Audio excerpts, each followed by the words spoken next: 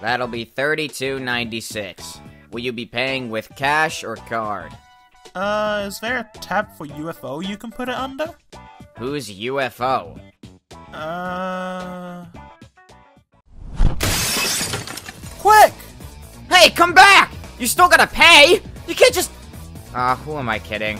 I don't get paid enough for this.